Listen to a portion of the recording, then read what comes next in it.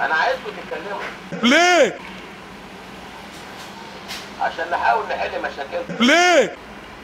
عشان ظروفكم تتغير. ليه؟ اللي ليه ليه